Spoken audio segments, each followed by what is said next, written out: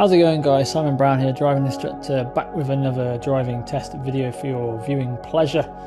Here we have Maia's driving test. Maia took her driving test on the 9th of January 2024 in Telford at 8.10 in the morning, which is why it looks a little dark in places because the sun is just coming up.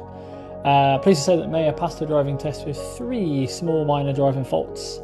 Um, see what you can work out what they are on the test. Any questions, any comments, as always, leave them below. Thank you for your support. Please like and subscribe to the video and take care. Cheers, guys.